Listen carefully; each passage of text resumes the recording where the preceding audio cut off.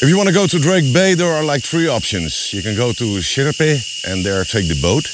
Uh, you can fly in from uh, Puerto Jimenez or San Jose, or you can drive.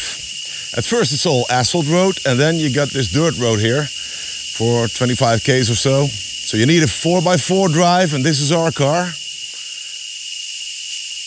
It's tiny, but it does the job.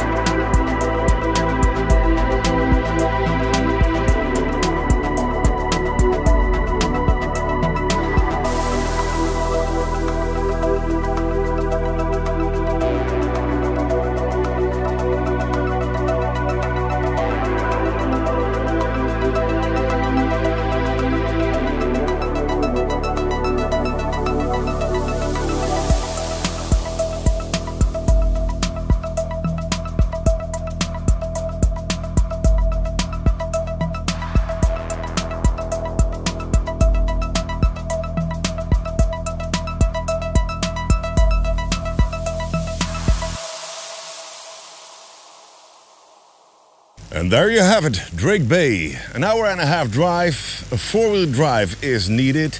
A bit of experience always helps, of course. And I wouldn't do it in the rainy season. That's a different kind of experience. Safe travels.